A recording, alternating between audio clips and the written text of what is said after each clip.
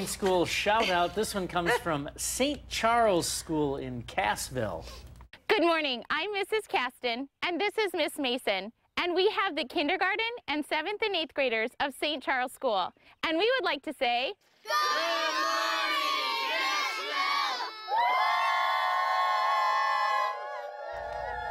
Cassville! All right, good morning from uh, St. Charles School in Cassville this morning. Mm-hmm. St. Charles, you like that school name. Oh, yeah. It's birthday time.